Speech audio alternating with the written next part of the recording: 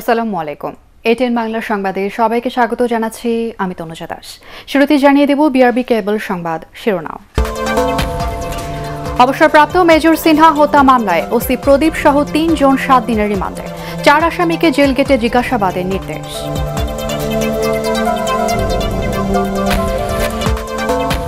দেশে করোনা ভাইরাসে মোট আক্রান্তের সংখ্যা প্রায় আড়াই লাখ, নতুন করে উনচল্লিশ জনের মৃত্যু।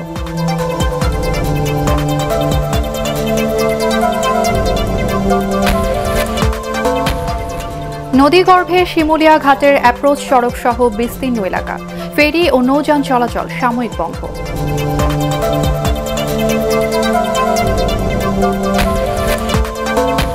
করোনার কারণে সব দেশ ধাক্কা খেলেও বাংলাদেশে বিনিয়োগের নতুন সম্ভাবনা সৃষ্টি হয়েছে, বললেন প্রধানমন্ত্রী।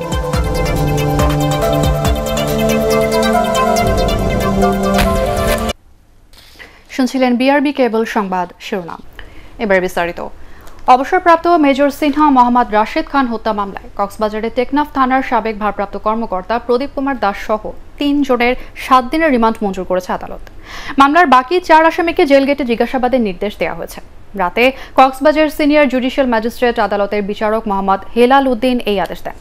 মামলার বাকি দুই আসামি আজ আত্মসমর্পণ করেনি কক্সবাজার প্রতিনিধি মোয়াজেম হোসেন শাকিলকে সাথে নিয়ে রিপোর্ট করেছেন জাহিদুল আলম। সাবেক সেনা কর্মকর্তা সিনহা মোহাম্মদ রাশেদ খান হত্যা মামলায় কক্সবাজারের টেকনাফ থানার সাবেক ওসি প্রদীপ কুমার দাস সহ সাত আসামিকে বৃহস্পতিবার বিকেলে আদালতে হাজির করে আইনশৃঙ্খলা বাহিনী। তবে মামলার বাকি দুই আসামি এদিন আত্মসমর্পণ করেননি। শুনানি শেষে সন্ধ্যায় সাতজনকে কারাগারে পাঠানোর নির্দেশ দেয় কক্সবাজারের সিনিয়র জুডিশিয়াল ম্যাজিস্ট্রেট আদালত। এরপর সাত আসামির দশ দিনের রিমান্ড আবেদন করে র্যাব। শুনানি শেষে রাতে ওসি প্রদীপ সহ তিনজনের সাত দিনের রিমান্ড মঞ্জুর করেন বিচারক মোহাম্মদ হেলাল উদ্দিন। মামলার অন্য চার আসামিকে জেলগেটে জিজ্ঞাসাবাদের নির্দেশ দেয় আদালত। আত্মসমর্পণ না করায় মামলার বাকি দুই আসামি এসআই টুটুল ও কনস্টেবল মোস্তফার বিরুদ্ধে গ্রেফতারি পরোয়ানা জারি করা হয়। এ বিষয়ে রাজধানীর উত্তরায় গণমাধ্যমকে ব্রিফ করেন র্যাবের আইন ও গণমাধ্যম শাখার পরিচালক লেফটেন্যান্ট কর্নেল আশিক বিল্লাহ। মোট নজন আসামি নাম এজাহারভুক্ত হয়। যে ব্যাপারে আমরা অনুসন্ধান করেছি, sub inspector Liakat, inspector Pradip Kumar Saha এবং সাব ইন্সপেক্টর নন্দকুমার। তাদেরকে তিন দিন, তিনজনকে সাত দিনের রিমান্ড মঞ্জুর করে। বাকি চারজন আসামিকে দুই দিন করে জেল গেটে জিজ্ঞাসাবাদ করার জন্য বিজ্ঞ আদালত আদেশ প্রদান করে। এর আগে চট্টগ্রাম থেকে পুলিশ হেফাজতে ওসি প্রদীপকে কক্সবাজারে আনা হয়। একই সাথে হত্যা মামলার প্রধান আসামি লিয়াকত সহ ছয়জনকে করা প্রহরায় আদালতে হাজির করে আইনশৃঙ্খলা বাহিনী। গত একত্রিশ আগস্ট রাতে কক্সবাজার টেকনাফ মেরিন ড্রাইভের শামলাপুর চেকপোস্টে পুলিশের গুলিতে নিহত হন সিনহা রাশেদ। এ ঘটনায় বুধবার কক্সবাজার সিনিয়র জুডিশিয়াল ম্যাজিস্ট্রেট আদালতে মামলা করেন তার বড় বোন শারমিন শাহরিয়া ফেরদৌস। ওই ঘটনায় কক্সবাজারে নিজ নিজ বাহিনীর প্রয়োজনীয় নির্দেশনা দিয়েছেন সেনাবাহিনীর প্রধান জেনারেল আজিজ আহমেদ ও পুলিশের মহাপরিদর্শক ডক্টর বেনজির আহমেদ। এক সংবাদ বিজ্ঞপ্তিতে আইএসপিআর এ কথা জানিয়েছে। জাহিদুল আলম, এটিএন বাংলা। দেশে করোনা ভাইরাসের সংক্রমণ ধরা পড়ার পাঁচ মাসের মাথায় শনাক্ত রোগীর সংখ্যা পৌঁছেছে প্রায় আড়াই লাখে। চব্বিশ ঘন্টায় নতুন করে করোনা পজিটিভ হয়েছেন তিন হাজার মানুষ। মৃত হয়েছে উনচল্লিশ জনের। এ নিয়ে দেশে মোট মৃত্যু হল তিন হাজার ছয়শো একুশ জনের। স্বাস্থ্য অধিদপ্তরের অনলাইন ব্রিফিংয়ে এসব তথ্য জানানো হয়। আর জানাচ্ছেন রাসনা দাস। দেশে করোনার ঊর্ধ্বমুখী সংক্রমণের হার থামছে না। করোনা বিশ্বে ইতালিকে পেছনে ফেলে বাংলাদেশের অবস্থান এখন পনেরোতম। আট মার্চ প্রথম সংক্রমণ ধরা পড়ার পর এ পর্যন্ত গড়ে মাসে প্রায় পঞ্চাশ হাজার মানুষ করোনায় আক্রান্ত হয়েছেন। সরকারি হিসেবে মোট তিরাশিটি ল্যাবে বারো হাজার সাতশো আটটি নমুনা পরীক্ষায় শনাক্ত হয়েছে দুই হাজার নয়শো সাতাত্তর জন। শনাক্ত রোগীর সংখ্যা দুই লাখ উনপঞ্চাশ হাজার ছয়শো একান্ন জন। গত চব্বিশ ঘন্টায় সুস্থ হয়েছেন দুই হাজার চুয়াত্তর জন। মোট সুস্থ এক লাখ তেতাল্লিশ হাজার আটশো চব্বিশ জন। বারো হাজার সাতশো আটটি পিসিআর পরীক্ষা করা হয়েছে, দু হাজার নয়শো সাতাত্তরটি পজিটিভ হয়েছে। এ পর্যন্ত দুই লক্ষ উনপঞ্চাশ হাজার ছয়শো একান্নটি পজিটিভ হয়েছে বা কোভিড নাইন্টিনের রোগ শনাক্ত হয়েছে। এছাড়াও প্রতিনিয়তই দীর্ঘ হচ্ছে করোনা ভাইরাসে মৃত্যুর তালিকা।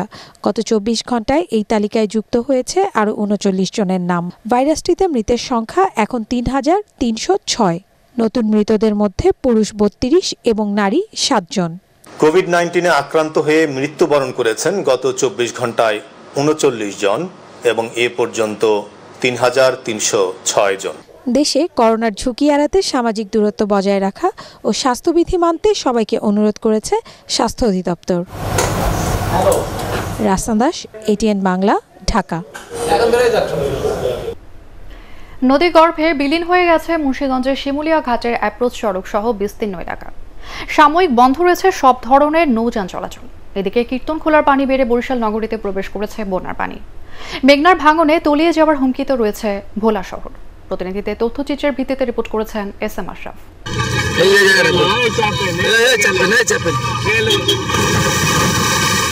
নদী গর্ভে বিলীন হয়ে গেছে। মুন্সীগঞ্জের লৌহজং উপজেলার শিমুলিয়া ঘাট এলাকায় চার নম্বর ফেরিঘাটের অ্যাপ্রোচ সড়ক সহ বেশ কিছু এলাকা বৃহস্পতিবার ভোরে ভিওআইপি এই ফেরিঘাটের বিস্তীর্ণ এলাকা নদীর গর্ভে বিলীন হয় দুর্ঘটনা এড়াতে সকাল থেকে শিমুলিয়া কাঁঠালবাড়ি নৌরুটের ফেরিসহ সকল ধরনের নৌযান চলাচল বন্ধ করে দেয় ঘাট কর্তৃপক্ষ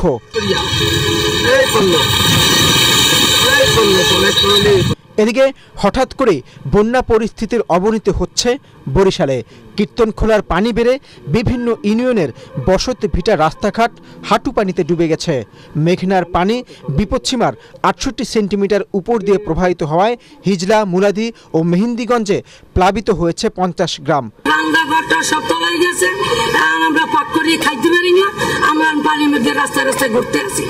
দক্ষিণাঞ্চলের আরেক জেলা ভোলা শহর তলিয়ে যাবার শঙ্কায় পড়েছে ফুসে উঠেছে মেঘনা ও তেঁতুলিয়ার পানি। বহু স্থানে বাঁধের উপর দিয়ে পানি প্রবেশ করতে শুরু করেছে। দৌলত খান বোরহানুদ্দিন তজুমুদ্দিন মনপুরা ও চরফেশন উপজেলার বিভিন্ন এলাকায় নদী ভাঙনের তীব্রতা এতটাই বেড়ে গেছে যে ভয় ও আতঙ্কে দিন পার করছেন স্থানীয়রা। বাড়ি সব চলে যাইতেছে। আমরা দ্রুত যদি না দেখেন তা আমরা কই যাব এখন? গেছে কালকে আমার বাবা মারা গেছে আপনার বিশ হাজার টাকা খরচ করে আমার বাবা মারি দিছি। সে জায়গায় যদি ভাঙে আমরা কোথায় যাব বলেন? এই দুঃখ আমরা কাকে বলব? আরেকদিকে পদ্মার পানির প্রচণ্ড স্রোতে নদী ভাঙন অব্যাহত রয়েছে শরীয়তপুরে। জিও ব্যাগ ফেলে চলছে ভাঙন রোধের চেষ্টা। S M Ashraf, ATN Bangla. সারা দেশে বন্যা পরিস্থিতির উন্নতি হয়েছে বলে দাবি করেছেন দুর্যোগ ব্যবস্থাপনা ও ত্রাণ প্রতিমন্ত্রী ডাক্তার এনামুর রহমান। তিনি বলেন বন্যার্থদের কষ্ট লাঘবে সরকার তাদের মাঝে নগদ টাকা ও শুকনো খাবার সহ ত্রাণ সামগ্রী পৌঁছে দিচ্ছে। জাতির জনক বঙ্গবন্ধু শেখ মুজিবুর রহমানের শাহাদাত বার্ষিকী উপলক্ষে সাভার উপজেলা পরিষদ আয়োজিত এক আলোচনা সভায় তিনি এসব কথা বলেন।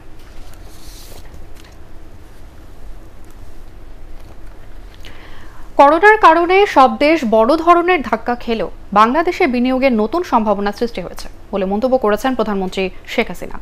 এজন্য বিনিয়োগ পরিবেশ আরও আকর্ষণীয় করতে ব্যবসায়ী সহ সংশ্লিষ্টদের নির্দেশ দেন তিনি। গণভবন থেকে ভিডিও কনফারেন্সের মাধ্যমে বিনিয়োগ উন্নয়ন কর্তৃপক্ষের গভর্নিং বোর্ডের সভায় তিনি এসব কথা বলেন। বিস্তারিত জানাচ্ছেন শফিকুল ইসলাম শামীম। করোনার কারণে সব দেশেই সমস্যা তৈরি হয়েছে। এই সমস্যার মধ্যেই কীভাবে দেশকে এগিয়ে নেওয়া যায় সেদিকে সবাইকে লক্ষ্য রাখার আহ্বান জানিয়েছেন প্রধানমন্ত্রী শেখ হাসিনা। করোনায় দেশ অর্থনৈতিকভাবে যে ধাক্কা খেয়েছে তা কাটিয়ে উঠতে নতুন বিনিয়োগের পরিবেশ তৈরির নির্দেশনা দেন প্রধানমন্ত্রী। বিনিয়োগ উন্নয়ন কর্তৃপক্ষের গভর্নিং বোর্ডের সভায় তিনি এসব কথা বলেন।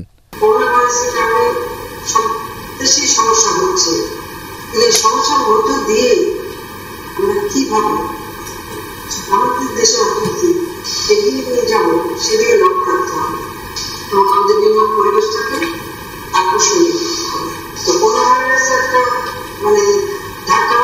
আমাদের ঠিক কিন্তু এখন আমার একটা সুযোগ সৃষ্টি হয়েছে। প্রধানমন্ত্রী বলেন বিশ্বের অনেক দেশে কলকারখানা বন্ধ রয়েছে অনেক দেশের শ্রমিক সংকট রয়েছে। এই পরিস্থিতিতে বাংলাদেশের জনসংখ্যা কাজে লাগিয়ে এবং জমি ব্যবহার করে নতুন অর্থনৈতিক পরিকল্পনা গ্রহণ করতে হবে।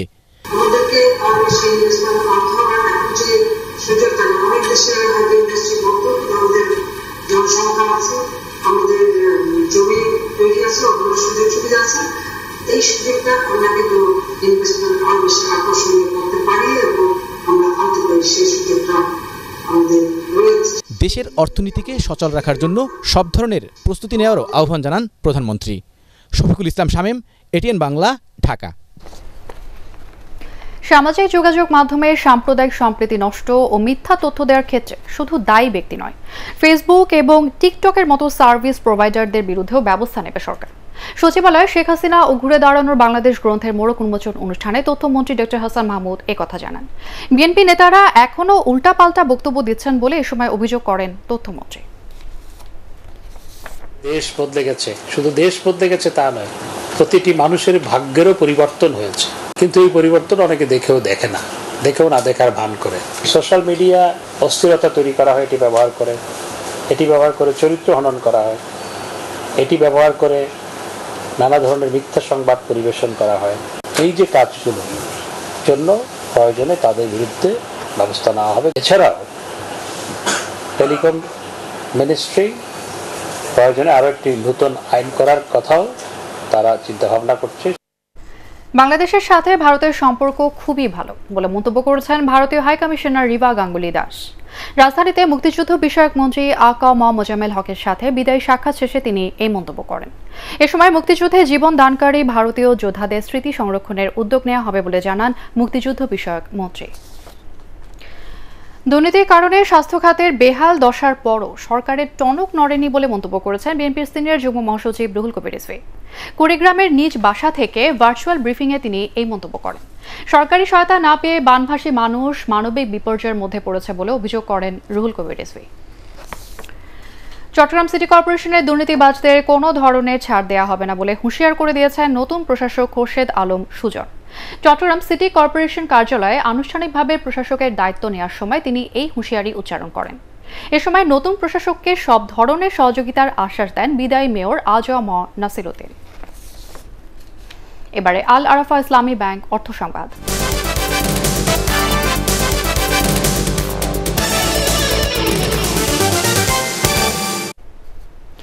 এগারো দিনের ব্যবধানে ভরি প্রতি স্বর্ণের দাম বাড়ল প্রায় সাড়ে চার হাজার টাকা। এর মধ্যে দাম বাড়ার নতুন সিদ্ধান্ত কার্যকর হয়েছে।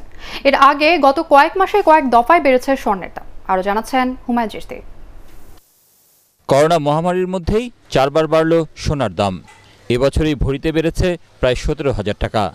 এ দফায় বাড়ানো হলো চার হাজার চারশো বত্রিশ টাকা। নতুন দরে বাইশ ক্যারেটের স্বর্ণ ভরি প্রতি সাতাত্তর হাজার দুইশো পনেরো টাকা।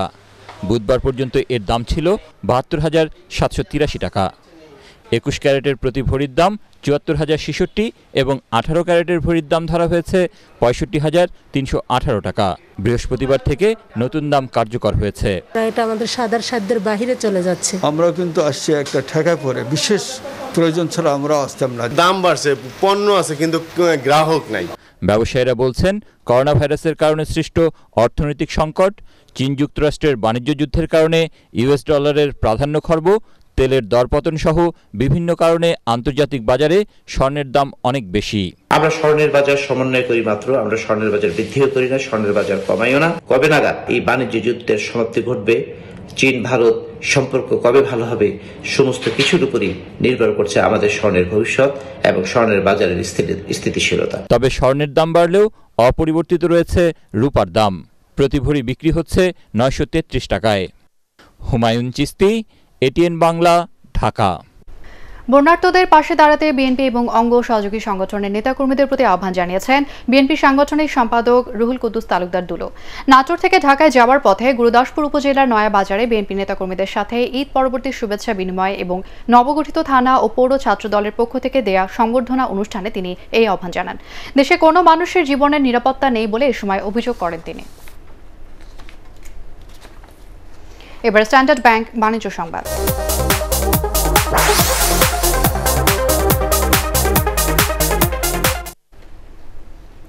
রাজধানী ধানমন্ডি বত্রিশ নম্বরে বঙ্গবন্ধু শেখ মুজিবুর রহমানের প্রতিকৃতিতে শ্রদ্ধা নিবেদন করেছেন জনতা ব্যাংকের নতুন chairman doctor S M Mahfuzur Rahman. ব্যাংকের পরিচালক কে এম শামসুল আলম জিয়াউদ্দিন আহমেদ, প্রধান নির্বাহী কর্মকর্তা ও ব্যবস্থাপনা পরিচালক আব্দুল সালাম আজাদ, উপব্যবস্থাপনা পরিচালক ইসমাইল হোসেন, জিকরুল হক, আব্দুল জব্বার এ সময় অন্যান্যের মধ্যে উপস্থিত ছিলেন। এবারে পাটেক্স খেলার খবর।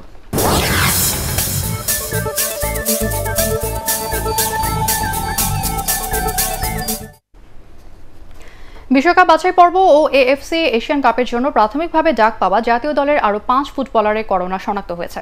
এ নিয়ে নয়জন ফুটবলার করোনা পজিটিভ হলেন। বঙ্গবন্ধু শেখ মুজিব মেডিকেল বিশ্ববিদ্যালয়ে আজ বারো জন করোনা পরীক্ষা করেন। সেখানে এই ভাইরাসে আক্রান্তের তালিকায় যুক্ত হয় টুটুল হোসেন বাদশাহ, সুশান্ত ত্রিপুরা, শহীদুল আলম, সোহেল রানা এবং মোহাম্মদ ইব্রাহিমের নাম। শনিবার বাকি সাতজন করোনার পরীক্ষা করাবেন। শেষ করার আগে বিআরবি কেবল সংবাদ শিরোনাম জানিয়ে দেব আরও একবার। অবসরপ্রাপ্ত মেজর সিনহা হত্যা মামলায় ওসি প্রদীপ সহ তিনজন সাত দিনের রিমান্ডে। চার আসামিকে জেল গেটে জিজ্ঞাসাবাদের নির্দেশ।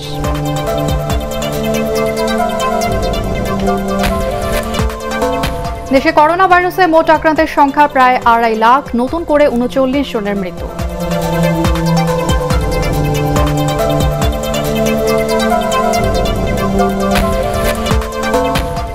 নদীগর্ভে শিমুলিয়া ঘাটের অ্যাপ্রোচ সড়ক সহ বিস্তীর্ণ এলাকা। ফেরি ও নৌযান চলাচল সাময়িক বন্ধ।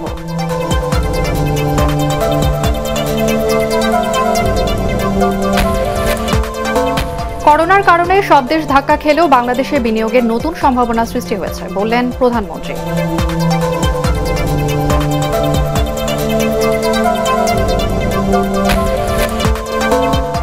আর এই ছিল এখনকার সংবাদ। আমাদের এটিএন বাংলা সংবাদ ইউটিউবে দেখতে ব্রাউজ করুন YouTube slash ATN Bangla news সবাই ঘরে থাকুন, নিরাপদে থাকুন। আমাদের সাথে থাকার জন্য ধন্যবাদ।